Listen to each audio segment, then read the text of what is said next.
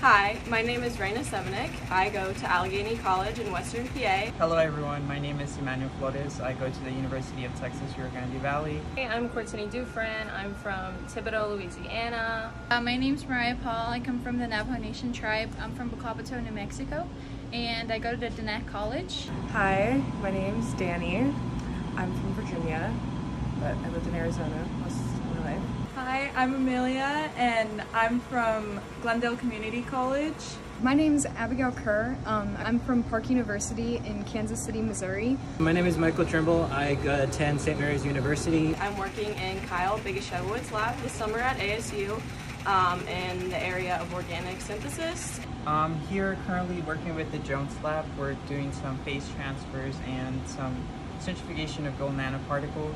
Um, I'm in the Ackerman group and so far I'm really enjoying the REU program and all the experience uh, in lab that has taught me as well as experience for later in life and my eventual plan is to go on to grad school and get my PhD in chemistry.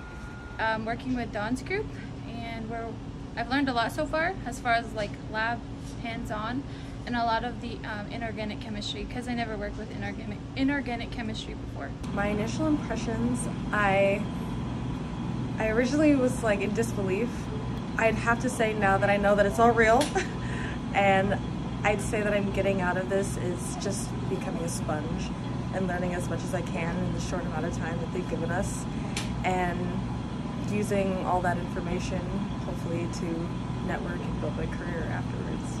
I'm working with Dr. Wade Van Horn and his group. I haven't had much lab experience in the past and so I'm really excited to get that experience and be able to learn about how to use all the equipment. I'm working with Matthias Heyden's group. Um, I'm doing computational chemistry. This week I've learned about harmonic oscillators and calculating potential energy based on the Lennard-Jones algorithm. I'm working with uh, Dr. Trovitch in his lab with uh, Tao, my mentor, and Anusa.